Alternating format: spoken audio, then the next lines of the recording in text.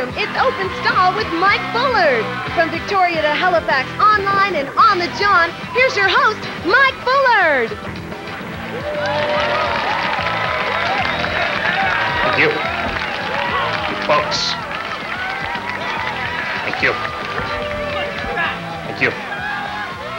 Welcome to the stall. Thank you.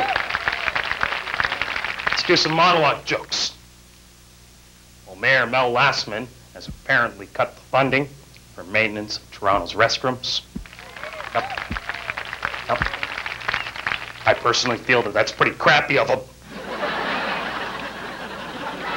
Oh, thank you. It's a good one.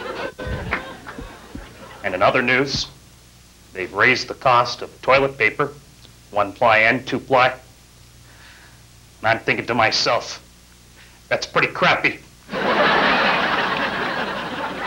Oh, it's good. Let's see who's in the stall today.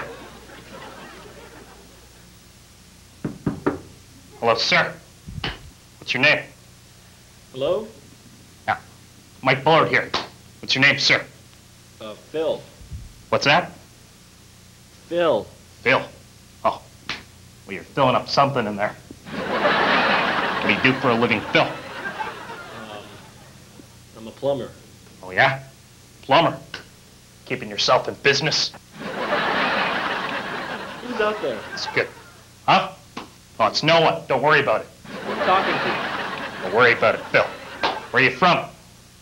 I'm from Hamilton. Oh, yeah, Hamilton.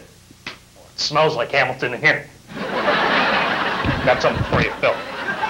It's my new CD, Stick to Comedy. Don't stick to the sea. Welcome. What's that, sir? Oh, oh, that stinks.